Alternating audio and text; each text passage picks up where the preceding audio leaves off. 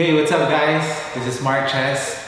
Today will be a tutorial on how to clean your sneakers or at least my style on how I clean my sneakers.